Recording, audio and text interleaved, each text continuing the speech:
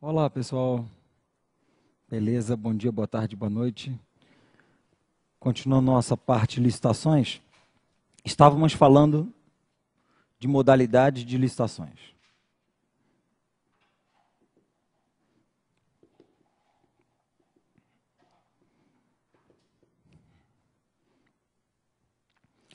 Mas antes de entrar propriamente no tema, uma, um destaque que eu queria fazer com vocês é uma preocupação, uma preocupação em relação a não ter edital, a não ter concurso. Então, constata-se em qualquer turma, seja jurídica, seja fiscal, seja bancária, seja segurança pública, qualquer turma que não tenha um edital publicado, nós temos a clara percepção de que o interesse ou ele é pequeno ou ele vai diminuindo ao longo do curso e só acredito eu que só traga prejuízo para o candidato, para aquele que está estudando. Então, se você se encontra numa situação dessa, por favor, faça uma reflexão e lembre que uma vez publicado o edital não dá tempo de estudar nada. Você vai tentar aprender algo que nunca viu, às vezes, ou então concorrer com alguém que está sempre se reestimulando.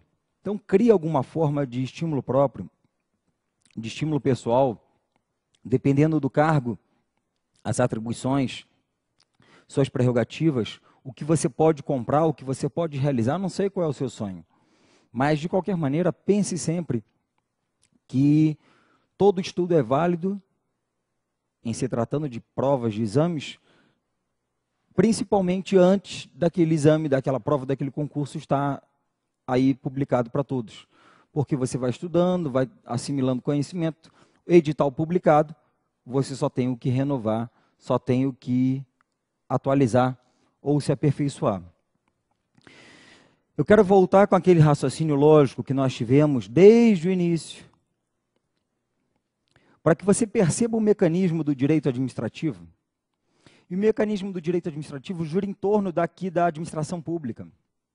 Administrativo administra o que é público. E a administração pública, de novo, ela, no seu sentido subjetivo, ao lado do sentido objetivo, ela vai se, estru se estruturar. Alguns que trabalham, sujeitos que atuam, objeto de atuação, o que é feito por eles. Os sujeitos que atuam são as entidades, os órgãos e vocês, agentes. E vocês exercem uma atividade ou uma função administrativa. Então, a partir daqui a gente começa a entender todo o sentido do direito administrativo, lembrando que a razão de ser da administração pública, a razão de ela existir é administrar o que é público. Logo, todo o trabalho exercido por esta turma sempre terá uma finalidade pública. Todo este conjunto de entidades, órgãos e agentes exercendo a atividade administrativa sempre terá por finalidade sempre terá por fim o atendimento do interesse público. Isto está em toda parte da matéria. Muito bem, a administração pública estruturada dessa maneira, ela, por meio de entidades, órgãos e agentes, vai exercer atividades segundo regras, segundo normas. E estas normas nós separamos em regimes jurídicos da administração pública. A administração pública vai ter um conjunto de normas, direitos, deveres, obrigações, enfim, um conjunto de regras a seguir. Regras que vão ditar como a atividade administrativa será exercida por seus sujeitos. Mas as normas não são meramente normas positivadas, postas colocadas em uma lei. As normas podem ter um caráter também valorativo, podem ter um caráter principiológico. Então, nós temos também princípios que vão reger a conduta administrativa. Destacando sempre que, como princípios, vem aquela famosa expressão, famosa expressão que você tem que interpretar em qualquer situação administrativa, chamada LIMP legalidade, impessoalidade, moralidade, publicidade, eficiência. Então, a administração pública é aquele conjunto de pessoas que exercem uma atividade sob normas, sob regras. Esta administração pública vai se organizar.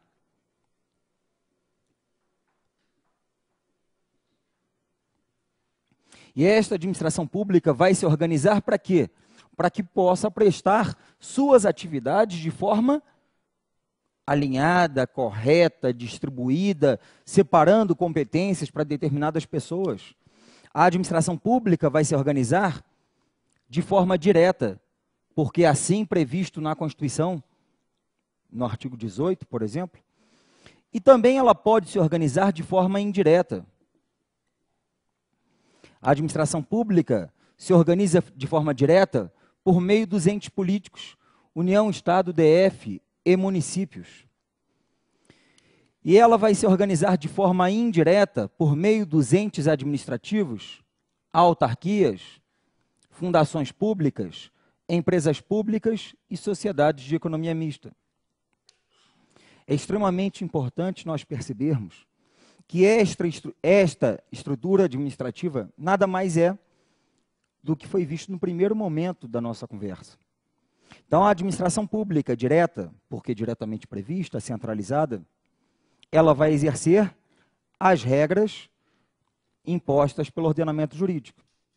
Mas pode a administração direta criar uma outra organização, uma outra organização com outras pessoas para fazer aquilo que foi previsto para elas. A administração pode tirar a atividade do centro e passar para fora, pode descentralizar.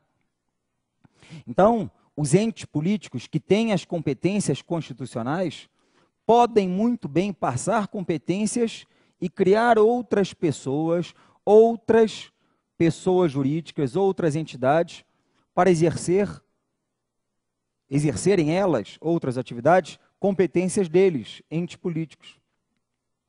Só que temos que saber também que uma pessoa da administração pública outra pessoa da administração pública, outra pessoa da administração pública, outra pessoa da administração pública pode muito bem se organizar internamente, ao invés de união, passa uma atividade sua para fora e cria uma fundação, a direta criando uma indireta, pode muito bem qualquer pessoa, qualquer entidade fazer uma repartição interna.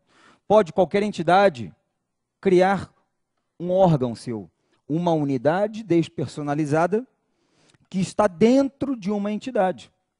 Então, todas as pessoas da administração pública, todas as pessoas administrativas, pegando estas quatro aqui de exemplo, podem, podem, podem internamente criar seus órgãos. Podem criar. Vou ser redundante aqui, tá? órgãos internos.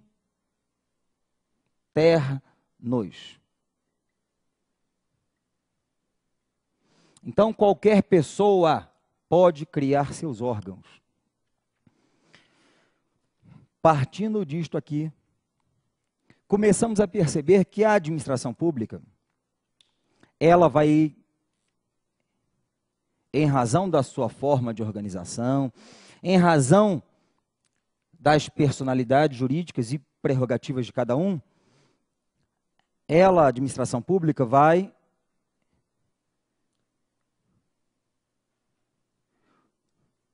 se valer de poder. Poder para quê? Poder para exercer atividade. Já que eu vou cuidar dos interesses da coletividade, então eu preciso de prerrogativas para exercer tais atividades atividades que eu não atuo, eu, administração, em meu próprio nome. eu, administração, vou atuar em nome de todos. Logo, eu preciso de prerrogativas para, com base na supremacia do interesse público, atender a coletividade. Ainda que eu sobreponha certos interesses individuais. A administração precisa de prerrogativas, poderes.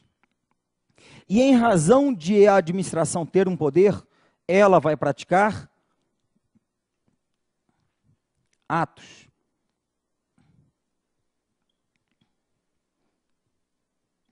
atos administrativos. A administração pública, neste binômio, poderes e atos, ela, utilizando prerrogativas, realiza suas atividades. Ela manifesta a sua vontade por meio de atos. Mas essa vontade vai ser manifestada em razão de poderes que ela, a administração, possui.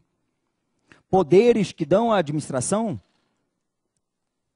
coisas chamadas atributos fazem com que os atos administrativos tenham características especiais, fazem com que os atos administrativos tenham presunção de legitimidade, fazem os poderes com que os atos administrativos tenham autoexecutoriedade, fazem com que os atos administrativos tenham imperatividade. E que os atos, completando o que conversamos em outro momento, sigam a regra da tipicidade, que na verdade não, não vem a ser uma prerrogativa, mas é colocado pela doutrina aqui como atributo. Pois bem, a administração pública pratica atos em razão dos poderes que possui. Só que ela pratica atos que são manifestações individuais. Às vezes, ela pratica vários atos em conjunto, atos estes que necessariamente têm uma interligação. Momento em que eu chego em uma tal de licitação. A licitação que está sendo estudada por nós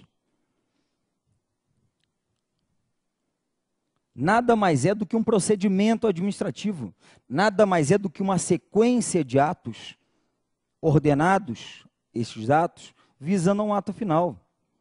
A licitação é um procedimento, uma sequência de atos.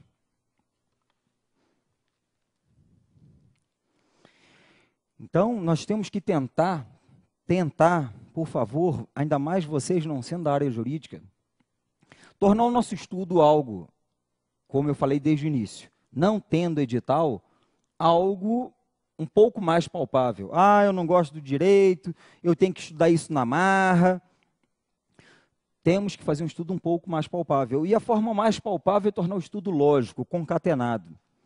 Então, se até este momento você foi simplesmente uma figura que marcou presença, assinou seu nome na lista de presença do curso, comece a perceber que um dia vai ser publicado o edital e neste dia você vai lembrar que ou não sabe nada, ou não estudou nada, ou tem que começar tudo de novo, ou então mudar de rumo, fazer outra coisa.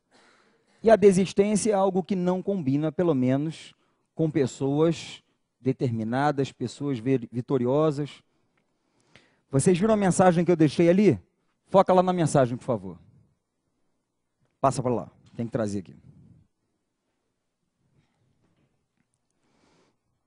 Vencer, vencer, vencer, este é o nosso maior ideal, dizem alguns.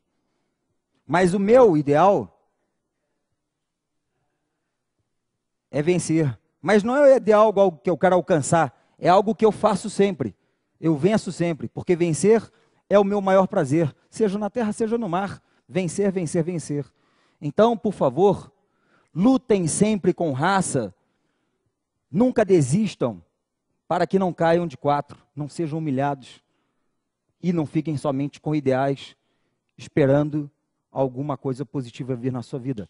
Atitude, hombridade, busque os seus sonhos. Então não espere sair um concurso com qual é o nome do daquele que descobriu América. Qual é o nome daquele que fez a curva no cabo da Boa Esperança? Não. O concurso traz isto. Então, tente fazer a releitura da matéria.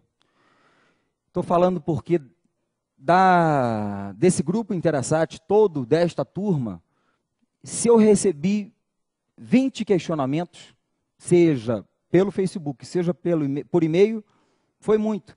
E 20 questionamentos para uma turma, ainda mais em rede nacional, eu acho extremamente pouco.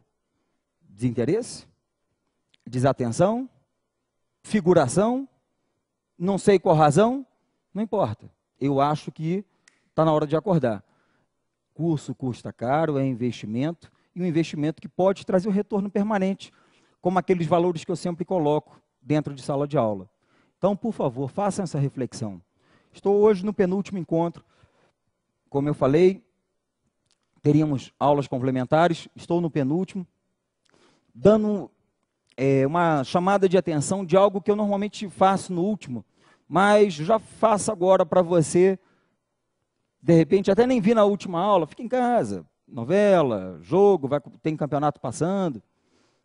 Ou então, se você quer de fato seu concurso, quer alcançar suas metas, atitude, postura, estude, tenha curiosidade, pergunte. Uma vez publicado o edital, não dá tempo de estudar. Pense com carinho nisso. Então, ótimo.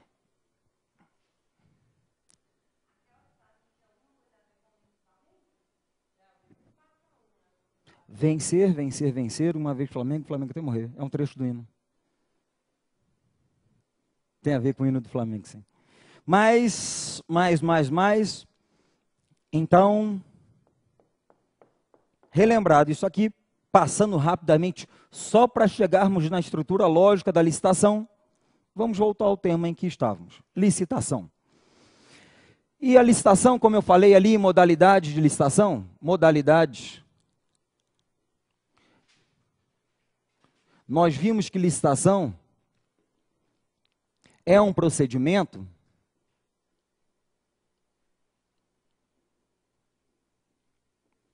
em que a administração pública tem que adotar. Procedimento obrigatório.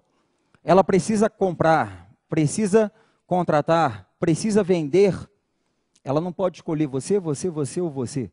Ela tem que fazer a competição.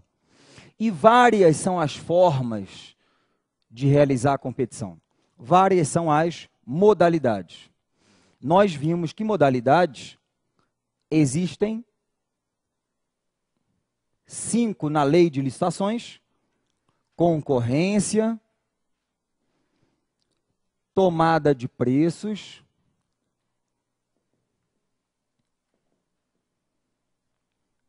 convite, concurso e o leilão.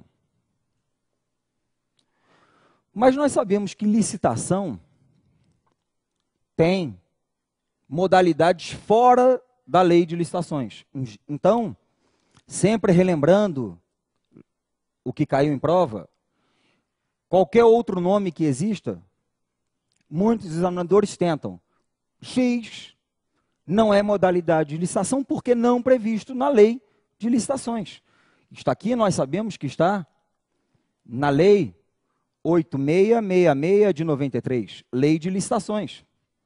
Mas há duas modalidades fora da lei de licitações, com regras próprias, leis próprias, que é o pregão, e dependendo do concurso, vai ser questionado, com certeza, principalmente se for concurso federal, e é a consulta, que só vai ser questionada se existe ou não, e notadamente se for um concurso próprio de agência reguladora. Então, nós temos sete modalidades de licitação. Sete procedimentos que podem ser adotados conforme o caso, para que o poder público chegue a um vencedor e com ele celebre, um contrato. Então, são procedimentos diferentes para situações diferentes. Modalidades, procedimentos.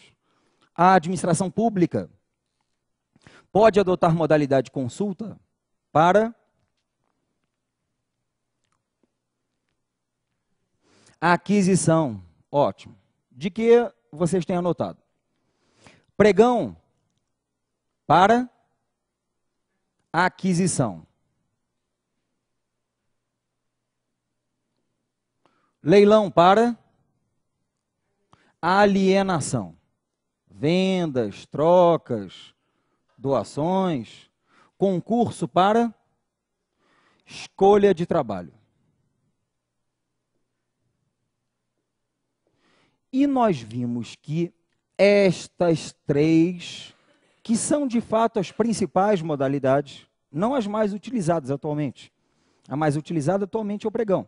Mas as mais principais, porque mais detalhadas, mais complexas, elas cabem para vários objetos, não para algumas aplicações, e nós vimos que o que elas têm em comum é o cabimento para obras, compras e serviços. Ressalvada a concorrência, que eu vou colocar um asterisco aqui, que nós vimos que a concorrência cabe para um monte de coisa. Tomada de preço e convite cabe só para contratações de obras, compras e serviços. E nós vimos em outro dia, e vamos ver hoje, que o que vai fazer eu escolher entre é, convite, tomada de preço ou concorrência para contratar um destes três é o valor. Então, ótimo. Lembrem deste resumo, porque ele é muito importante. Muitas questões se resolvem. Pregão é cabível para alienações de bens e serviços comuns. Se você lembrar que alienação não cabe pregão, pronto, precisava nem ler o resto da questão. Então, guardem este quadrinho aqui, resumo que já foi conversado em outro momento. Nós já tínhamos falado da modalidade de todas, sobrando o convite, letra G. Paramos na letra G, paramos na letra G, convite. Modalidade, convite.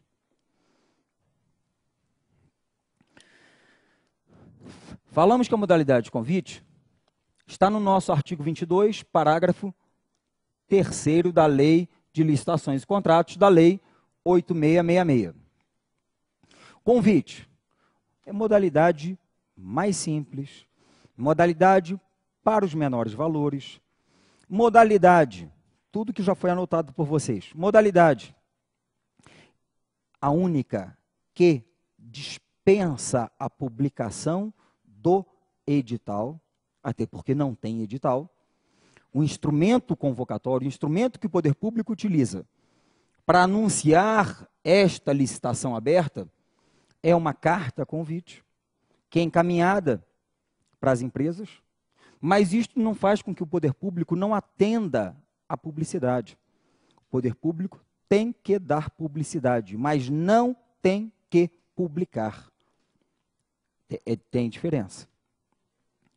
Entendi não. Vou chegar lá. Vou chegar lá. Mas vocês têm isso já registrado, né? Independe de publicação, mas deve haver publicidade. Falamos que o convite, então, menor valor, não tem edital, tem carta convite. Falamos que o convite, lá no parágrafo terceiro, é para interessados do ramo pertinente ao objeto. Então, a margem de atuação, de aplicação do convite é bem pequena. Alguns questionam até a constitucionalidade disto. Mas está lá valendo na lei. É para interessados do ramo pertinente objeto. É para limitar mesmo o universo de participantes. E o que eu deixei no ar aqui é quem participa. Vocês lembram dos participantes da tomada de preços?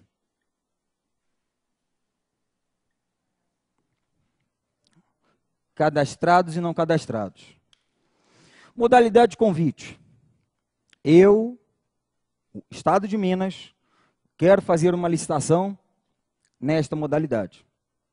Quero contratar alguém e escolhi este procedimento para contratar alguém para fazer uma obra para mim. Ótimo. O que, que eu vou fazer? Primeiro, eu envio a carta convite, envio o convite, eu escolho aqueles que eu quero dentro do ramo. Então, vai participar aquele convidado. Aquele escolhido. O poder público envia a carta convite para as empresas do ramo pertinente ao objeto. E o poder público vai convidar, vai escolher entre cadastrados e não cadastrados.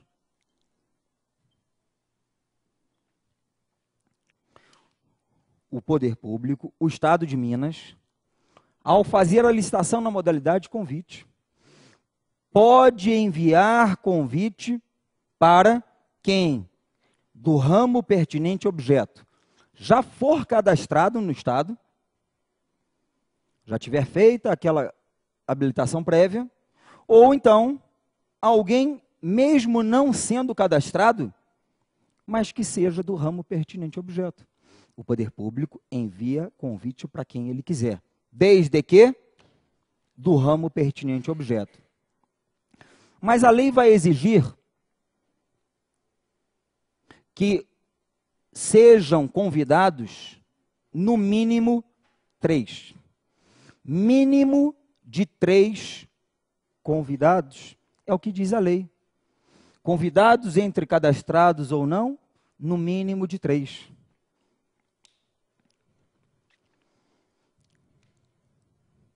Esse mínimo de três aqui, não acredito que seja objeto de cobrança no seu concurso, mas vai aí informação é um mínimo de três, segundo o Tribunal de Contas da União, súmula, salvo melhor juízo, 248. Segundo o TCU, mínimo de três propostas aceitas. Eu enviei convite para 100. Se 98 não me responderem, não aceitarem, eu não tenho três aceites. Não são três convites enviados. Tem que ser, no mínimo, três aceites. Para efeito de prova, não sendo um concurso jurídico, acredito que convidados no mínimo de três. Ponto. Presumindo que basta que enviemos os três convites. Mas se a licitação fosse só para aqueles escolhidos pela administração pública, pareceria que ela poderia direcionar. Mas não. A nossa lei abre a oportunidade para que outras pessoas não convidadas participem da licitação.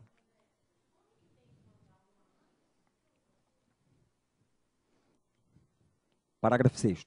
Vou chegar lá. A administração, como nós vimos, não publica edital, mas tem que dar publicidade. Se ela não publica edital, ela envia a carta convite, alguns receberão a carta na sua empresa. Outros não receberão a carta convite. Como estes ficarão sabendo que aquela licitação convite está aberta? Porque o poder público tem que dar publicidade. Como? Vai afixar um resumo do instrumento convocatório no quadro, no mural da administração.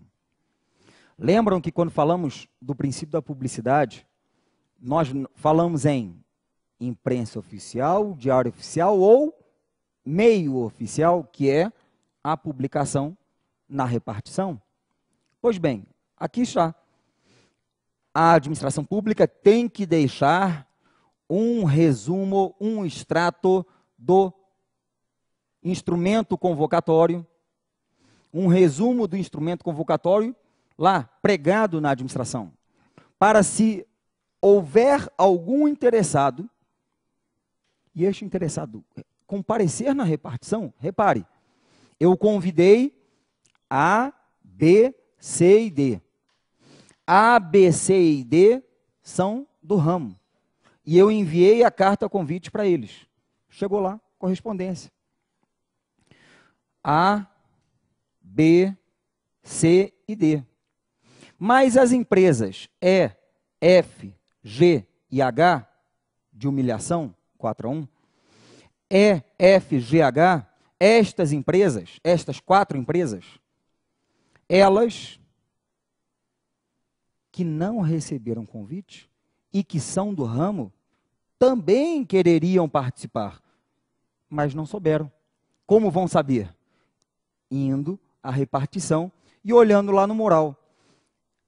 Ou seja, se você é alguém que atua em certo ramo e sabe que o Estado faz licitações na modalidade de convite, você tem que mandar um empregado seu, um preposto seu, sempre à repartição pública.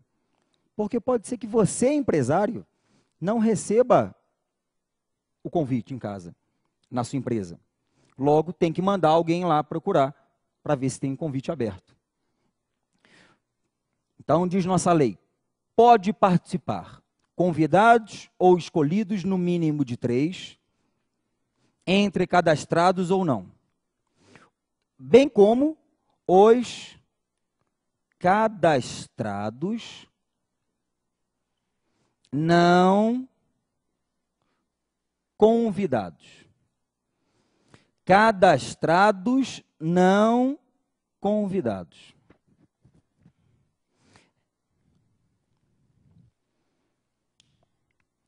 Aqui a lei, ela foi um pouco restritiva, um pouco precisa. Repare que na tomada de preços, cadastrados e não cadastrados. Cadastrados dentro do prazo de entrega de proposta e não cadastrados desde que se cadastrem em certo prazo. Aqui no convite, diferente. Ou o Estado envia convite para você, ou você já, já, já sendo cadastrado, mas que por acaso não recebeu o convite, você poderá participar, desde que manifeste seu interesse em tal prazo.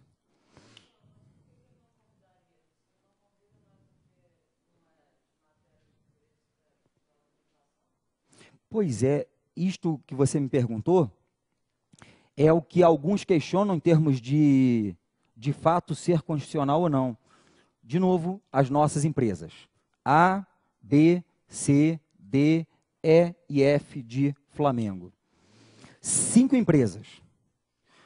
O poder público vai fazer uma licitação, aqui o Estado de Minas Gerais, por qualquer órgão seu, vai fazer uma licitação na modalidade convite dentro do que está no 22, parágrafo 3. O que, que eu tenho que fazer? No mínimo. Das cinco empresas, só, só e somente só, existem cinco empresas do ramo. O que, que o, o, o Estado de Minas Gerais tem que fazer? Enviar convites, sendo que no mínimo de três. Então, o Estado de Minas Gerais enviou a carta convite para a empresa A, para a empresa B, para a empresa C.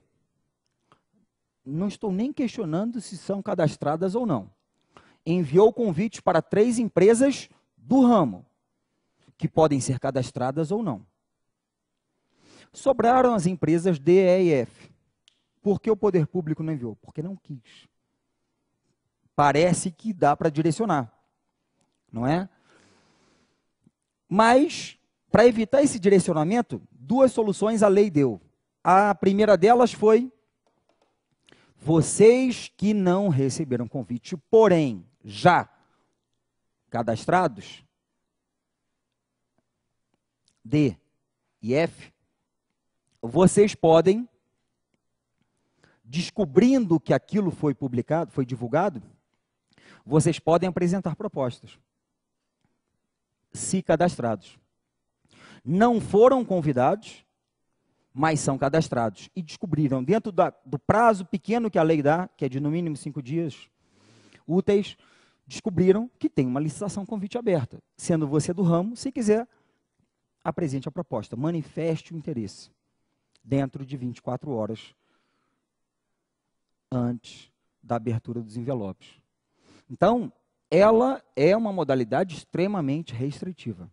O poder público escolhe quem quiser, desde que atenda o mínimo, mas tem que dar oportunidade para que outros manifestem seu interesse.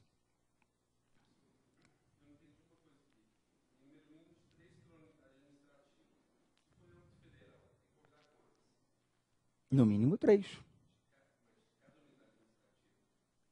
Não, unidade, né, unidade administrativa que está organizando a licitação. Não unidade da federação. Imagina. Não. Mínimo de três convidados por aquela unidade administrativa que está realizando. Não. Pode. Pode convidar a gente de onde quiser. Desde que do ramo e no mínimo de três.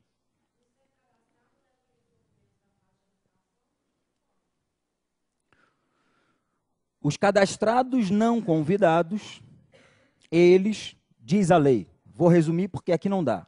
Desde que, desde que manifestem seu interesse, vocês estão lendo a lei, manifestem interesse até 24 horas antes da abertura dos envelopes. Então, o que, que diz a lei? O Estado de Minas Gerais pode convidar um mínimo de três, entre cadastrados ou não, de empresas de determinado ramo. Mas, mesmo não tendo convidado outras empresas, é dada a oportunidade para que outras empresas que não foram convidadas, desde que já cadastradas quando divulgado o instrumento convocatório, elas têm até 24 horas antes da abertura dos envelopes para entregar suas propostas. E os não cadastrados só participam se convidados. Quando, quando você não convidado, você já é cadastrado. Dentro do prazo, vai entregar os dois envelopes: o envelope de habilitação de cadastramento e o envelope de proposta. O não cadastrado, quando convidado, no prazo definido, ele entrega os dois envelopes: um de habilitação, que é o cadastramento, e um com a proposta comercial. O que já é cadastrado só entrega envelope de proposta.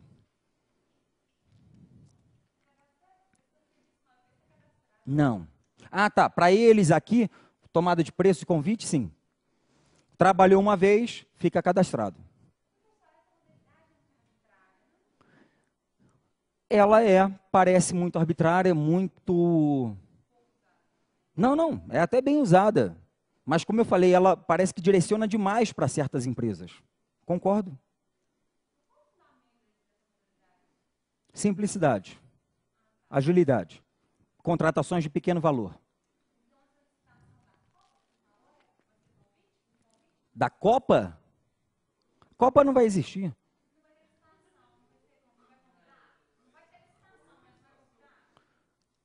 Não. Eles estão enrolando, enrolando, enrolando, e por falta de prazo, eles vão colocar na dispensa emergencial.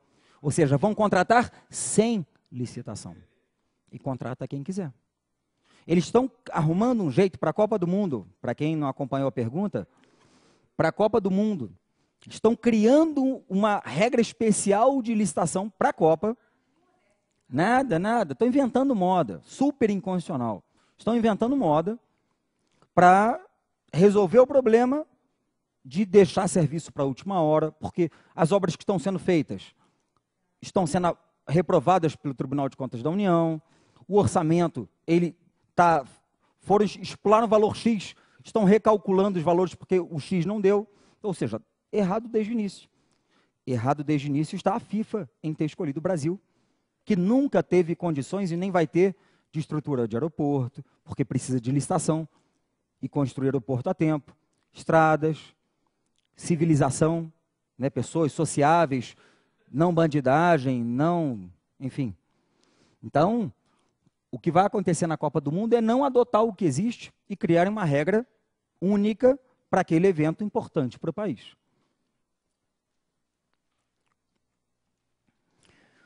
Então, a modalidade de convite é isto. Para efeito de prova, eu quero que vocês prestem atenção, por favor, na confusão que pode haver entre os participantes do convite com os participantes da tomada de preços. No convite ainda, mais uma pergunta. Vocês viram que a lei exigiu um mínimo de três, não viram? Viram. Mas pode ser que eu, administração pública, não encontre no ramo pertinente ao objeto três empresas. Eu tenho que convidar no mínimo três, mas existem duas, como é que eu vou convidar a terceira? Fica inviável.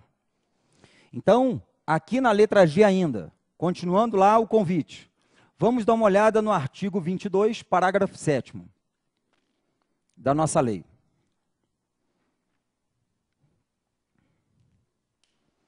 Vinte parágrafo 7 E ele vai dizer assim: se o mínimo de três exigido pelo parágrafo terceiro não for alcançado, a administração tem que adotar certas medidas. Então, o que nós temos aqui é o número de convidados menor que três. Se o número de convidados for menor que três, poder público, a administração pública tem duas soluções. A administração pública deve justificar. Duas justificativas pode ela apresentar. Primeira, como eu, no exemplo, enviei convite, fui procurar três empresas do ramo e não existem três, existem duas. Logo, limitação, restrição de mercado. O próprio mercado, o próprio ramo não apresenta três, só há duas empresas. Restrição de mercado. Ou manifesto desinteresse. Enviei convite para dez empresas todas as 10 existentes no mercado. Porém, só recebo duas respostas. Uma resposta. As outras não querem. Não, obrigado. Fica para a próxima. Não, obrigado. Você não paga? Não, eu não quero. Manifesto desinteresse. Se, repito, a administração convidar e não conseguir o mínimo de três dos convidados, ela tem que justificar. Porque se ela não apresentar justificativa, diz a lei, sob pena de repetição do convite. Começar tudo de novo do zero.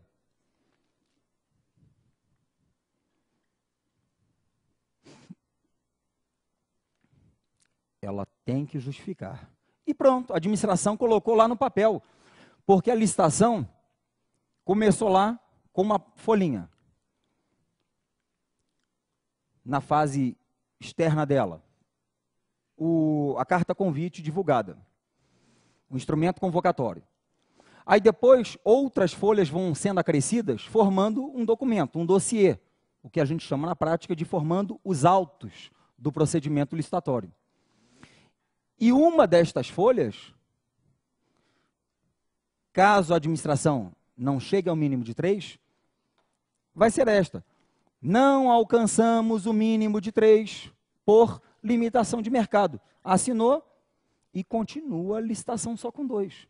Se ela justificar, continua a licitação só com os dois convidados, só com um convidado.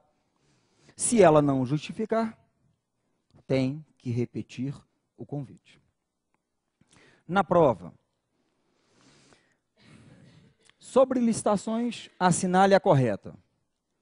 Caso na modalidade convite não seja alcançado o mínimo de três, a administração pública deve justificar apenas com base na limitação de mercado. Isso foi uma questão que apareceu. Errado, porque a lei dá duas possíveis justificativas. Na modalidade convite, Caso o mínimo de cinco convidados não seja atendido conforme na lei, ela deve justificar. Errado porque o mínimo não é de cinco, é de três. Então a sua prova simplesmente cobra isto. Pois bem, foi imposto na modalidade convite que eu convide no mínimo três. Mas foi aberta a possibilidade de pessoas não convidadas participar.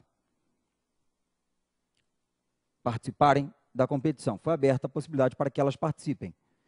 Mas, mas, vamos dar uma olhada no parágrafo 6 do artigo 22 da nossa lei. Artigo 22, parágrafo 6.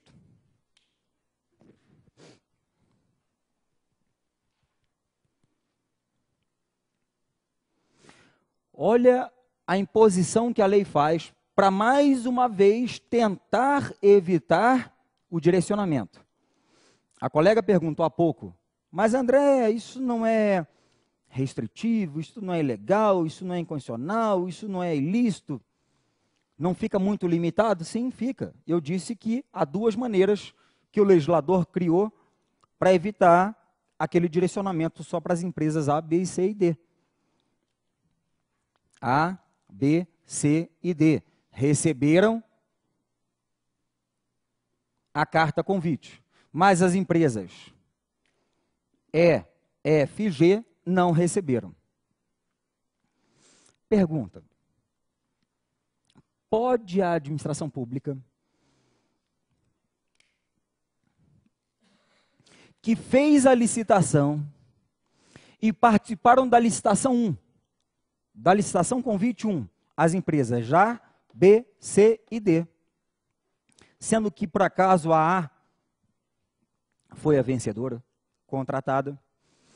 Pode ela fazer uma nova licitação na modalidade convite e convidar as mesmas empresas?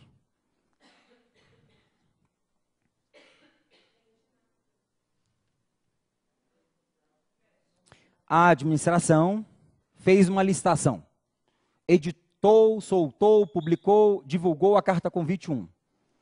Nesta licitação convite 1, foram convidadas as empresas A, B, C e D. Há outras no ramo, mas que o poder público não convidou e elas não participaram. E então, só participaram da competição as quatro. Atendi o mínimo de três convidados? Atendi. Então, a primeira licitação, aparentemente válida. A vencedora foi a empresa A. Venceu, celebrou um contrato, prestou serviço, acabou. Vou fazer uma nova licitação para objeto idêntico ou assemelhado, para a mesma coisa. Pergunta: posso convidar as mesmas quatro? Posso. Posso, posso. Boa. Desde que convide pelo menos mais uma cadastrada, mas não convidada em licitações anteriores. Então, a regra que o 22 sexto traz para gente é de tentar diminuir a burla na modalidade convite, que é muito direcionada. Então é Evitar aquela panelinha, sempre os mesmos. Aí fica aquela troca. Não, agora você ganha, na próxima eu ganho, na próxima eu ganho. Não. Tenho sempre que chamar mais um, sempre que chamar mais um. Para ir tentando alcançar uma publicidade maior e diminuir a chance de fraude. Então, 22 sexto fala isto. Foi feito um convite 1. Neste convite 1 foram convidadas as empresas A, B, C e D. Quatro empresas. Uma foi vencedora, chegou ao resultado final, ótimo. Posteriormente, foi feito um convite 2 uma nova licitação, aquela já acabou, já teve contrato, uma nova licitação para o mesmo tipo de serviço. E o que se questiona é: posso convidar os mesmos quatro da anterior? Posso. Desde que seja convidada pelo menos mais uma, para que não fique um negócio fechado, direcionado, panela.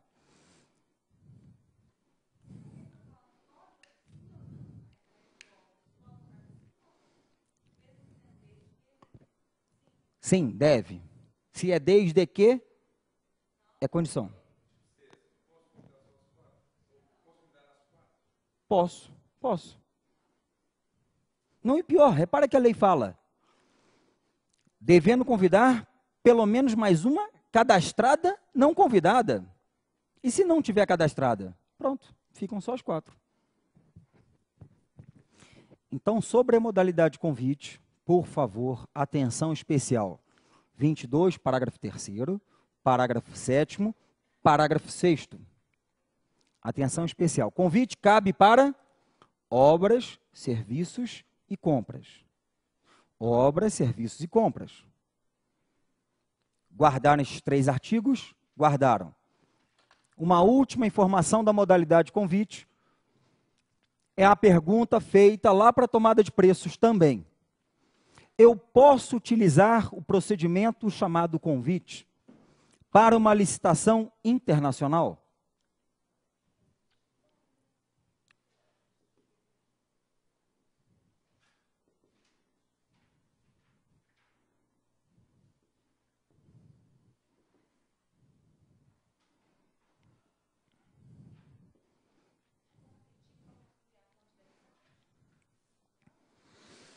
Ponte da Amizade é a ponte que fica entre Brasil e Paraguai?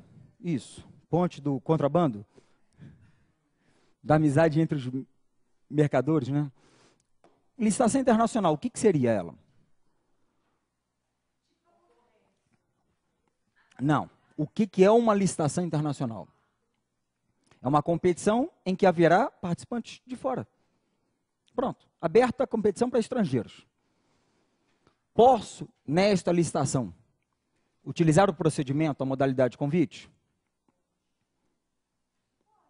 Qual é a regra? A regra é concorrência. Todos no 23, parágrafo 3.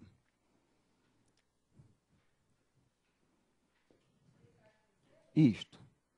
23, parágrafo 3.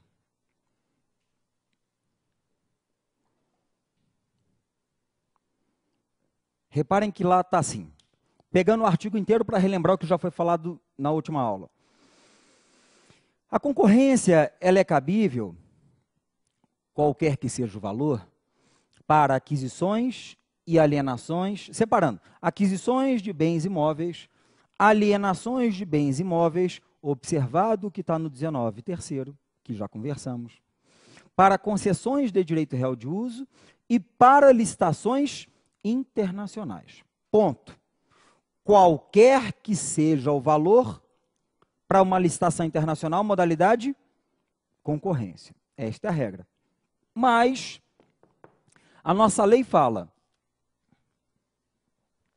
que a regra é a concorrência, mas poderá, repare, poderá ser adotada a tomada de preços?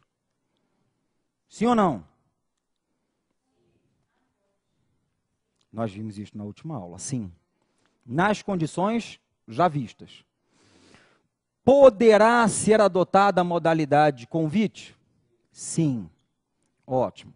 Então, para, isto é só para licitação internacional, eu posso adotar a trinca aqui.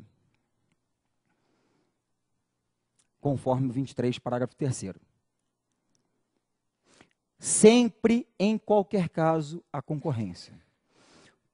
Podendo ser adotada a tomada de preços, se atendidos requisitos, ou o convite, se atendidos requisitos. Quais são os dois requisitos que eu tenho que ter para, e tenho que ter concomitantemente, para utilizar essa modalidade de convite? O valor sempre, então, se estiver no valor do convite, se estiver no valor da modalidade, que já vamos ver, é o próximo tema. E, falaram aí.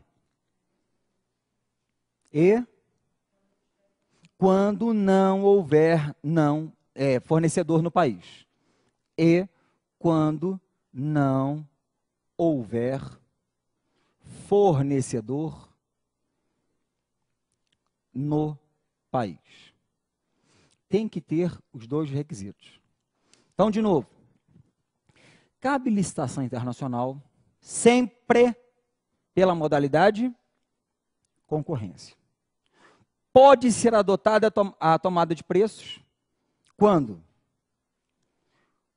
houver cadastro internacional de fornecedores e estivermos no limite de valor da tomada de preços. Ou posso adotar a concorrência. Posso usar sempre. Poderá ser adotada a modalidade convite? Poderá ser adotado o procedimento convite quando? Quando não houver fornecedor no país. Aí eu envio um convite para fora. E se aquela licitação internacional estiver no valor da modalidade de convite. Tem que ter esses dois requisitos. Ainda assim, cabe a concorrência em qualquer caso.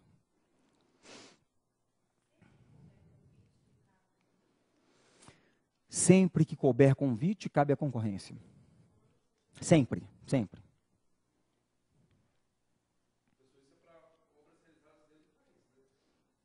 Obras realizadas no país. A não ser que a administração pública utilize fora do país, mas em solo brasileiro, uma, faça uma, um, um serviço e contrate sob as normas do país.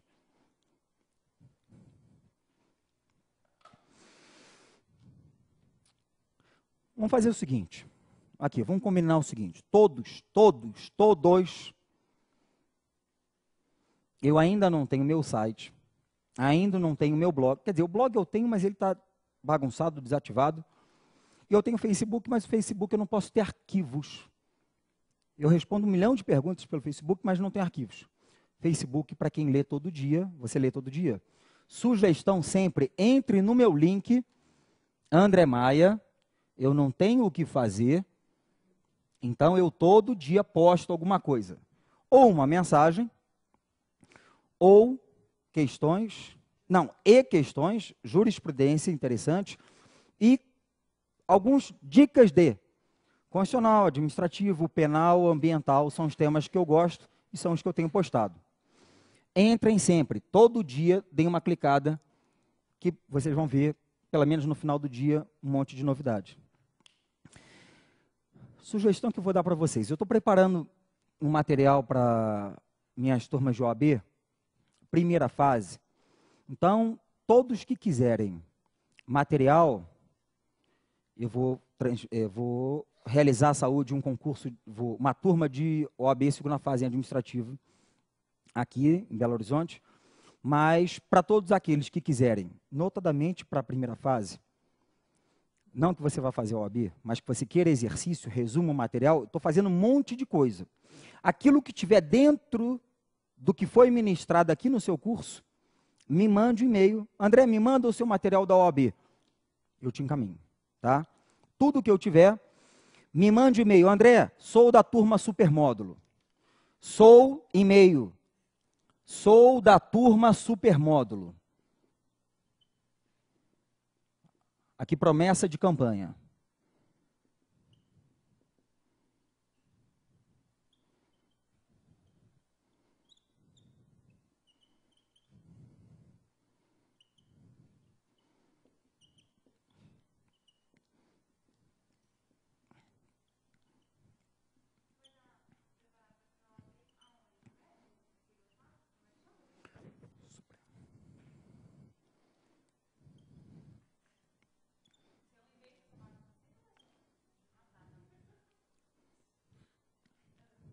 Face.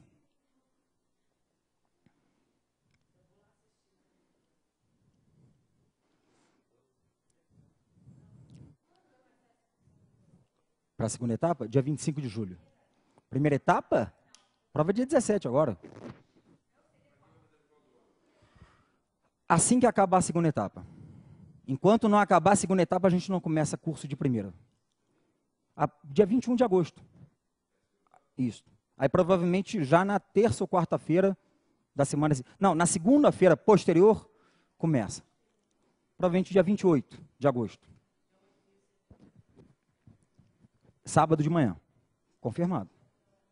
Então, por favor, só relembrando aqui, mandem andré.professor.interassat.gmail.com andré.professor.supremo.gmail.com André Sou das turmas supermódulos.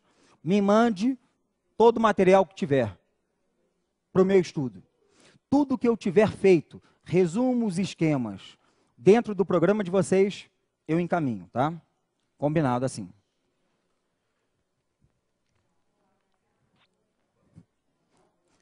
Aí eu vou receber agora, por e-mail, já um pedido em cada. Hum. Hum.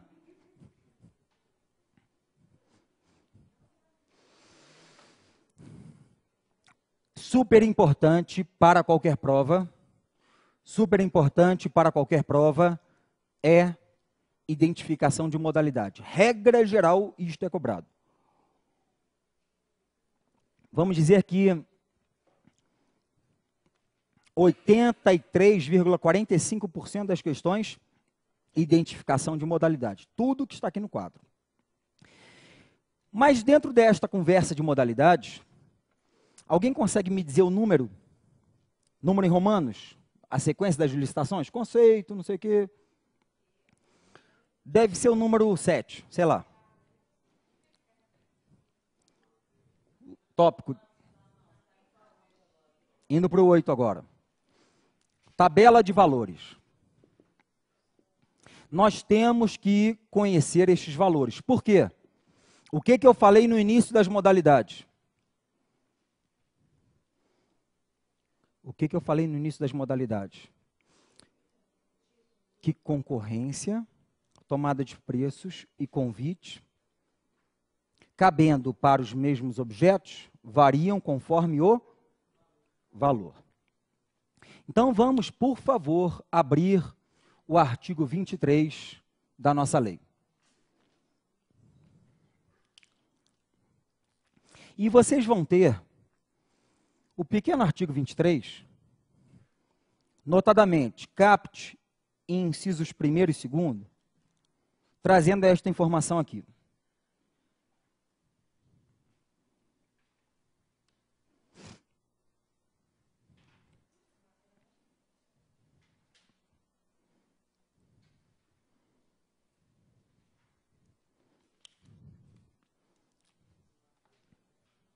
Estou com as modalidades que variam em razão do valor, concorrência, tomada de preços e convite.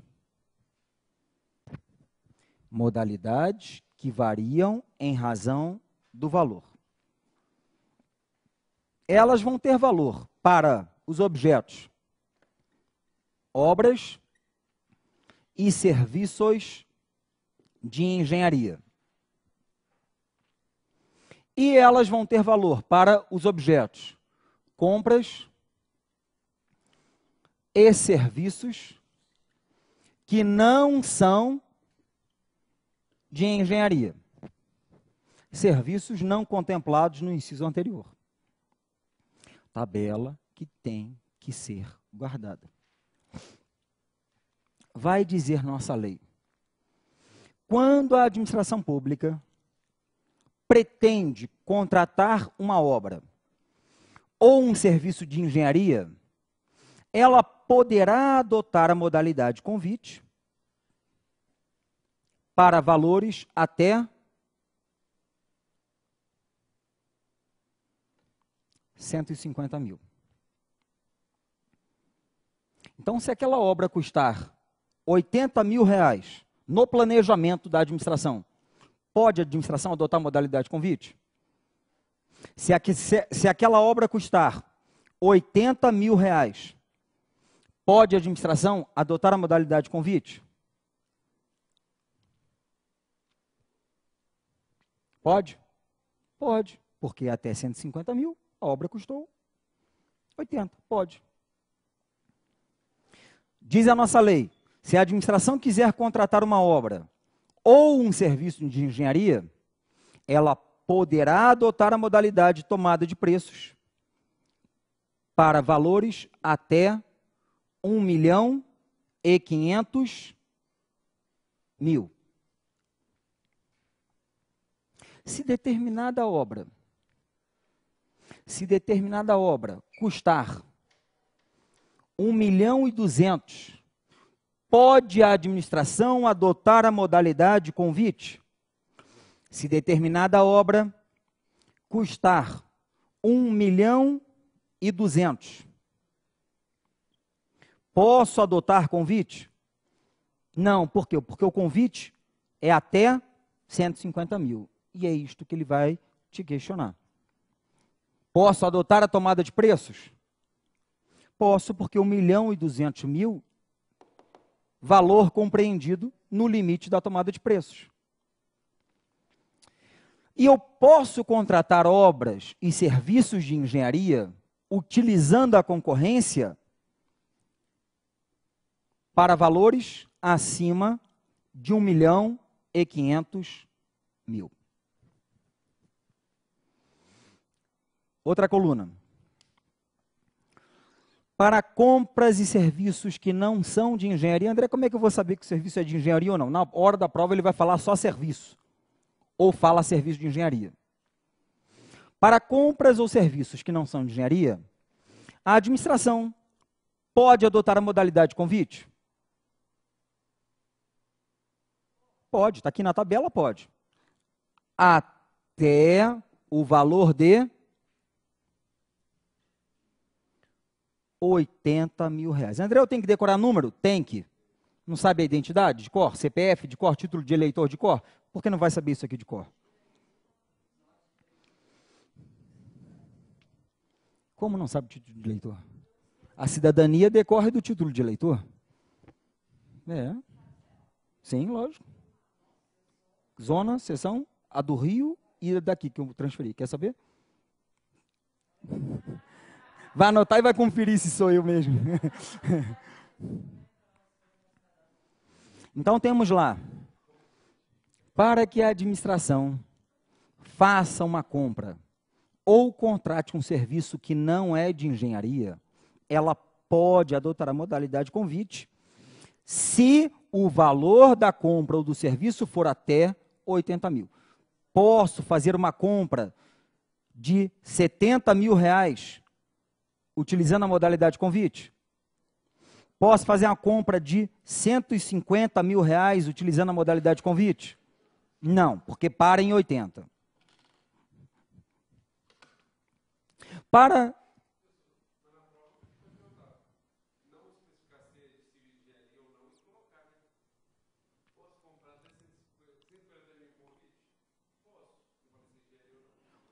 Comprar? Contratar? Não, mas aí ele vai especificar. Se a pergunta que o colega fez, posso, pode a administração contratar o quê? Contratar pelo convite até 150 mil? Pode. Não disse o quê? O maior valor é o que vale. Boa. Se ficou em aberto, vamos para o maior valor. Mas, regra geral, eles especificam. A administração pública pretende comprar alguma coisa ou contratar um serviço que não de engenharia. Pode adotar a modalidade de tomada de preços, pode fazer este procedimento licitatório para valores até 650 mil reais. E a administração pública, quando fizer uma compra ou contratar um serviço que não é de engenharia, ela deve adotar a concorrência para valores acima de 650 mil reais. Então, nós temos esta tabela que na hora da prova pode te incomodar. Calma, não pergunta ainda não, que eu sei que você vai perguntar. Então, vem a questão de prova. Questão 1. Questão 1. O município, ou melhor, a Secretaria Municipal de Turismo, a Secretaria Municipal de Turismo de Belo Horizonte pretende fazer uma compra no estimado valor de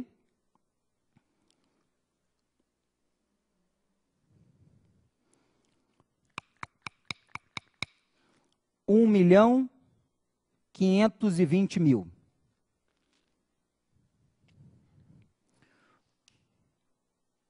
A Secretaria Municipal de Turismo do município de Belo Horizonte pretende realizar uma compra no valor de um milhão quinhentos e vinte mil reais. Logo, o procedimento a ser adotado é letra A, B, C, D. Leilão, concorrência, tomada de preços ou convite.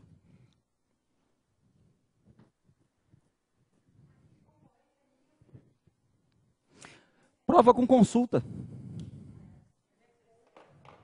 Prova com consulta. Questão CESP, questão Carlos Chagas, questão ESAF. Todas podem cobrar desse jeito.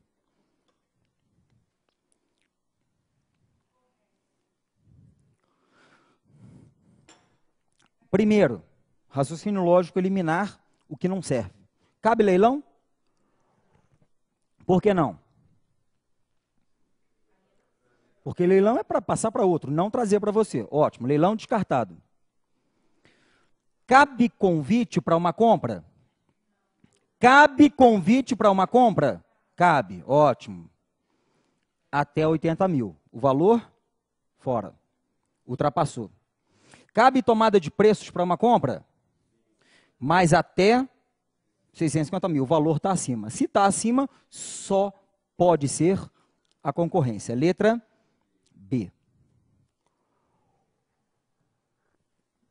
Esta é a famosa questão para ninguém zerar. André, como é que eu vou lembrar dessa tabela na hora da prova? Lendo. Lendo o artigo, estudando. Ou técnica da tatuagem. Eu já falei dela em sala, né? Nunca falei de técnica da tatuagem? Em rede nacional? Não, melhor não, né? Não, mas aí eles vão mandar um e-mail falando, ah, mas eu quero saber. Bom, o negócio é o seguinte. Não, rede nacional, Recife, Macapá, de todo mundo. O negócio é o seguinte: você vai fazer a prova em determinado horário. Vamos imaginar que a sua prova esteja marcada para as nove da manhã. Um bom horário, comum horário de prova. Você vai acordar mais cedo, lógico, senão não chega lá. Acordou então às 5 de ansiedade. Dá mais uma cochilada até às 6. Beleza, às 6 ficou, levantou, banho, bem asseado, por favor. Antes de se vestir, não, primeiro coloque o seu traje íntimo, antes de botar a calça, saia, seja lá o que for, pegue todas as tabelinhas, todos os resumos, todos os esquemas, com uma caneta esferográfica, comece a escrever na sua perna. Pode baixar, pode filmar. Isso. Escreve na perna. Escreve em todos os cantos. Pede ajuda, não importa. Escreve. Se tatue toda, com todos os esquemas. Vá para a prova, sentou. Nossa, questão de licitação. Valor, pelo amor de Deus. Não lembro da tabela. Fiscal de prova. Preciso ir para a casinha. Aí você vai ao banheiro. Foi para o banheiro. Na hora que você sentou, baixou a calça, procura a tatuagem. É só procurar. Não vai ter nenhum espelhinho, não vai ter câmera, e você volta e acerta a questão. Eu não recomendo isto. Garante sua aprovação, garante aquele valor todo mês seu, na sua conta, mas eu não recomendo. Acho que é um erro, um absurdo, mas garante a sua aprovação. Então, não faça isso. Não faça isso. Então vamos lá. Primeira questão resolvida.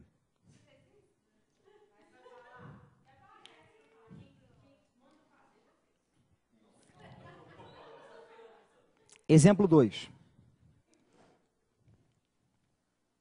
Exemplo 2. O Tribunal de Contas do Estado de Minas pretende realizar uma obra no valor de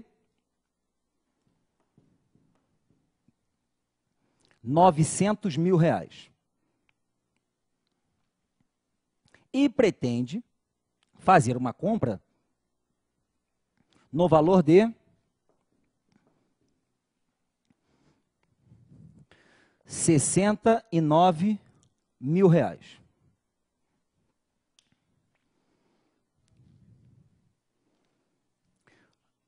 A medida a ser adotada, respectivamente, letra A. Então, aqui, opções. Letra A.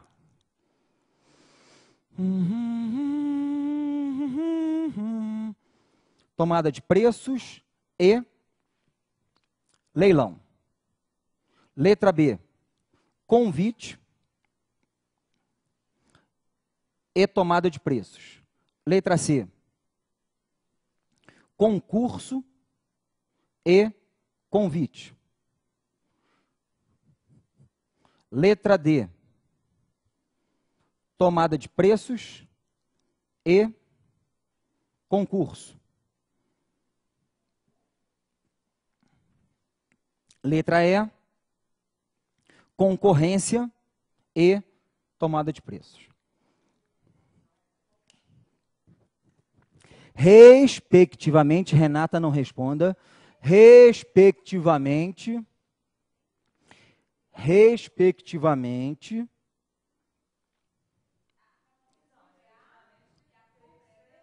obra 900 mil, compra 69 mil, respectivamente,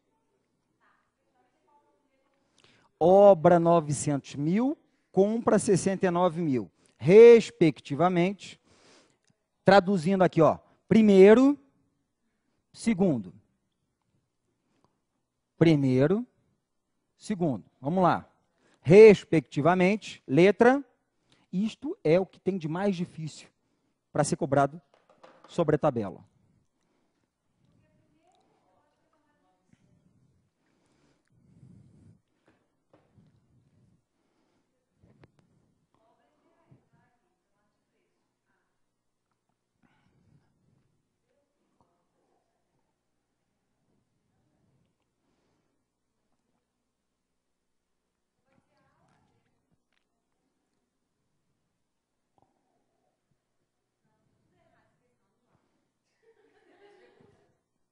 Respectivamente, se se você não souber precisamente a lei, resolva ou primeiro tente resolver a questão pelo Raciocínio lógico. Bom senso. Tá aí a dica. De novo, vai lá.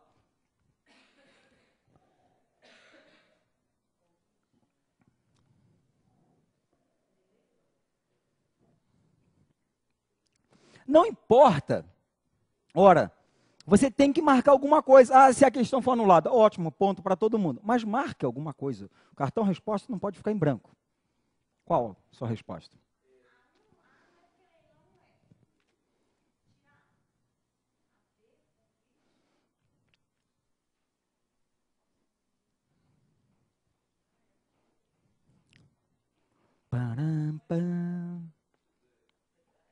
Ah, não pode por quê?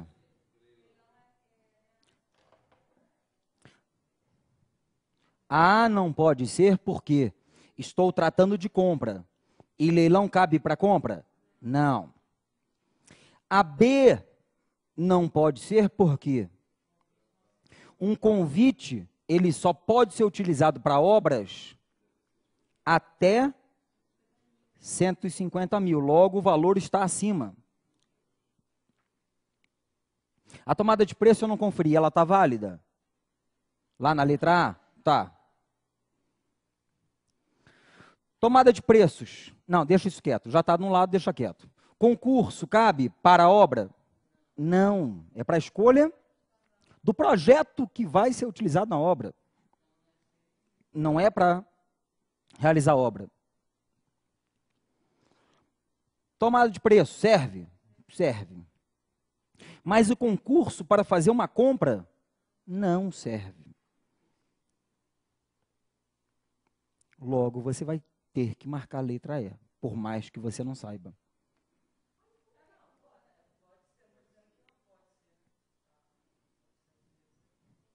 Diz a nossa lei que uma compra, idealmente na tabela, uma compra de 69 mil, modalidade ideal.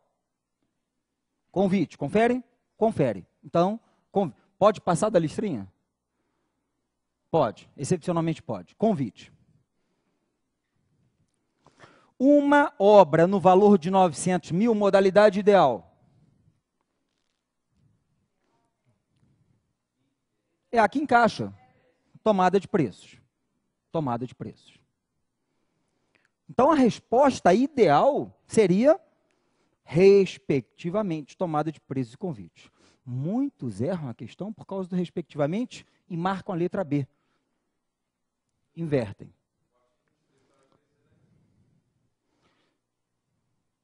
Vinte e três, parágrafo quarto.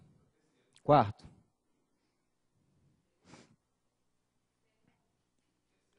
Vinte e três, parágrafo quarto.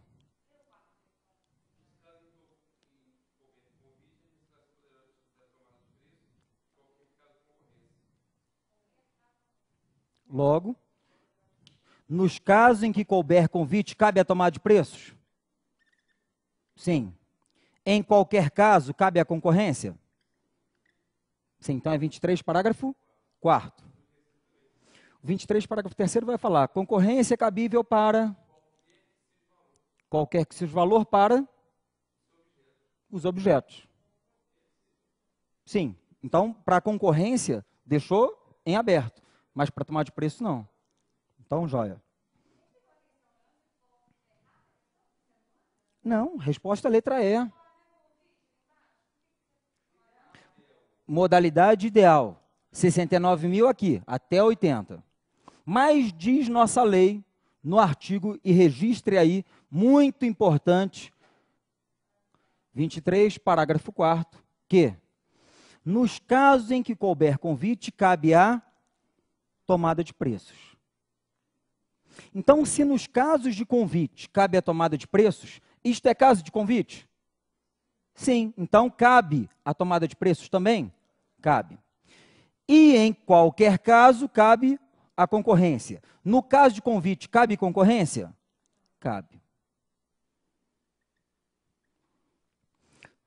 Na obra, tomada de preços, cabe convite?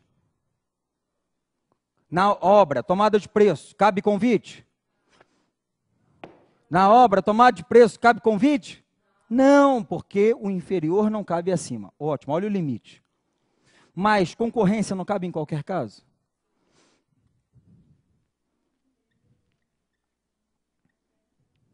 Então, a nossa questão, ela foi justamente para as situações que estão fora do quadro ideal. Qual é a famosa regra aqui? Teoria dos poderes implícitos que diz: quem pode mais, pode menos.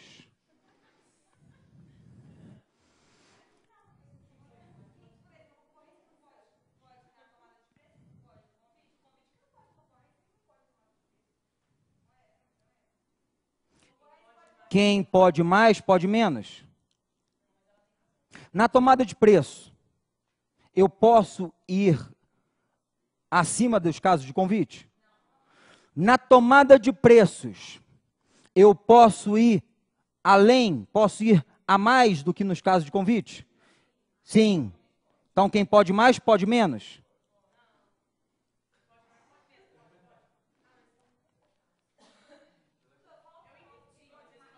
E nos casos de concorrência, cabe em qualquer hipótese, ou seja, concorrência pode mais, logo pode menos. Vendo por outra maneira, convite até 150 mil. Tomada de preços, par, acima de 150 até 1 milhão e 500? Sim ou não? Está escrito isso aí? Não, não fala o limite inferior. Se é até 1 milhão e 500, vem desde lá de baixo.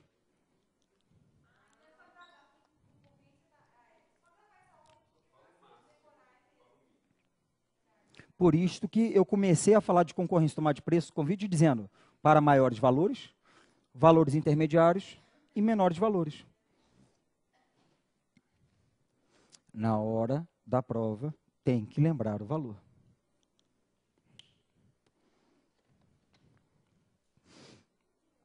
Vinte e três, incisos primeiro e segundo, vinte e três, parágrafo quarto. Por favor, guardem isto. Mas a vida não é fácil. Temos mais uma informação sobre a tabela ainda. Vamos ao 23, parágrafo 8. 23, parágrafo 8, ainda na tabela de valores.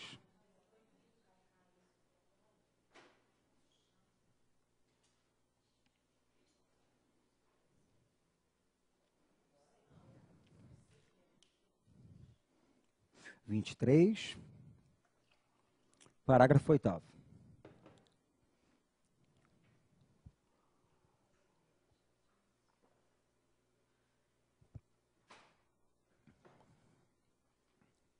Vinte e três, parágrafo oitavo. Vem comigo.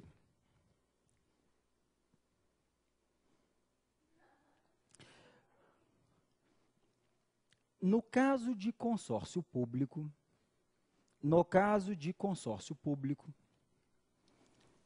André, o que é consórcio público? Não vou te responder.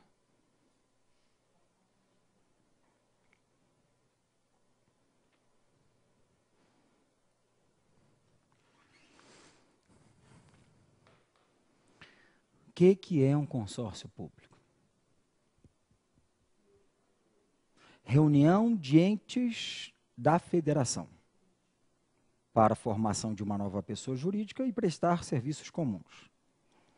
Se este consórcio público, se for de direito público, associação pública, boa. Se este consórcio público for formado, composto por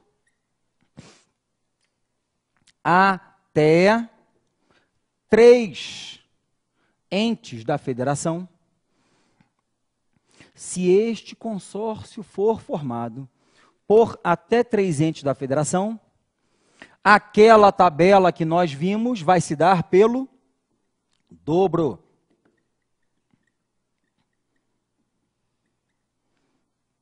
Tabela vezes 2. Então, Quando um consórcio formado por Belo Horizonte e Confins pretende contratar, pretende fazer uma obra na modalidade convite, poderá fazer esta licitação até que valor? Um consórcio formado pelos entes Belo Horizonte e Confins. Ela pretende fazer uma obra na modalidade convite. Isto pode se dar até que valor? 300 mil reais. É o valor da tabela multiplicado por 2. Se o consórcio público for formado, se o consórcio público for formado por mais de três entes, se o consórcio público for formado por mais de três entes da federação, as contratações vão seguir aquela tabela, só que agora multiplicada por 3. Tabela vezes 3. Então, um consórcio formado por União, Rio Grande do Sul, Santa Catarina, Florianópolis e Porto Alegre. Cinco entes da federação.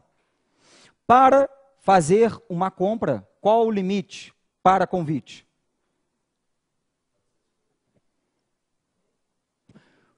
Para uma compra, consórcio público formado por cinco entes.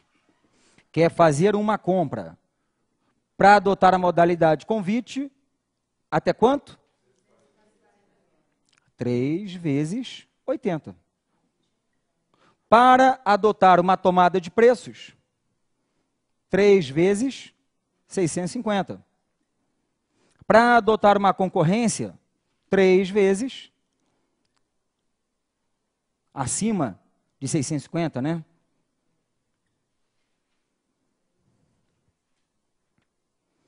Então, na hora da prova, e eu nunca vi uma questão cobrar sobre consórcio público, sobre esta tabela. Na hora da prova, se questionarem, nós vamos ter que lembrar da tabela e ainda colocar os fatores aqui.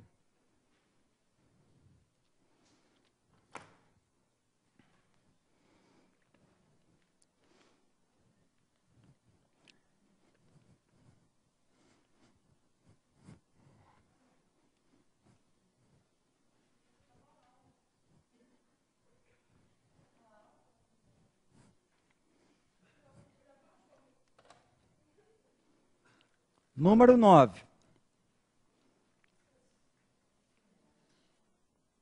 Contratação direta.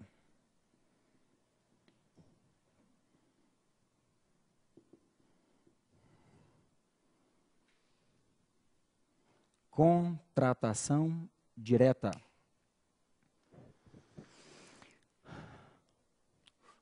Qual foi o primeiro princípio que nós falamos sobre licitação neste curso? Hã? Não. Da obrigatoriedade. No tema licitações, não, lá no artigo 37. Então, a contratação direta nada mais é do que uma exceção ao princípio da obrigatoriedade de licitar. Exceção ao princípio da licitação.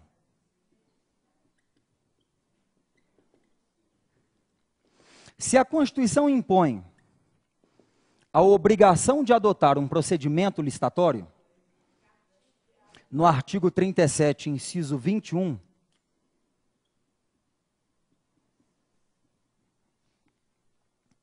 quando eu não adotar o procedimento licitatório, estou contratando diretamente. Não farei a competição. Voltando lá no 3721 da Constituição. ressalvadas as hipóteses legalmente previstas. Ressalvadas as hipóteses previstas em lei, puxem uma setinha, quer dizer, envolvam isto, esta parte inicial do 3721, e escrevam contratação direta. Caso em que não haverá licitação. Eu contrato a sua empresa. Ponto. Na Constituição, 37, inciso 21.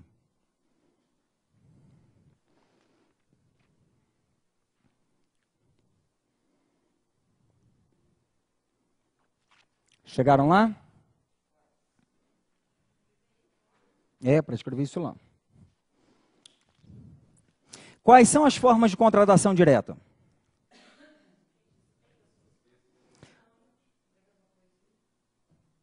Trinta e sete, vinte e um. Alguém leia para mim, por favor, trinta e sete, vinte e um da Constituição.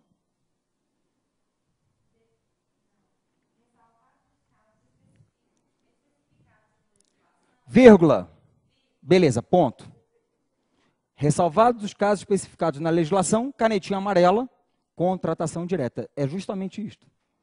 Porque depois vem, a licitação é obrigatória. Nós temos dois grandes casos em três nomes. Nós temos os casos de dispensa de licitação, chamada licitação dispensada, também chamada em outros casos de licitação dispensável. E temos um caso também, Jarlene, chamado licitação inexigível.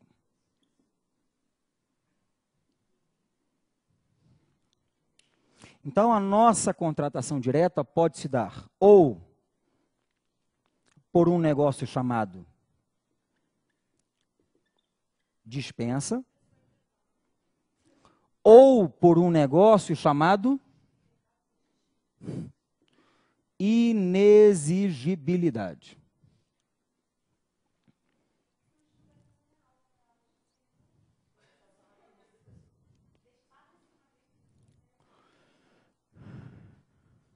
Vamos dar uma respirada que o pessoal aqui está suplicando, não é pedindo, não. Com muita sofreguidão, estão suplicando por um intervalo. Vamos dar uma respirada.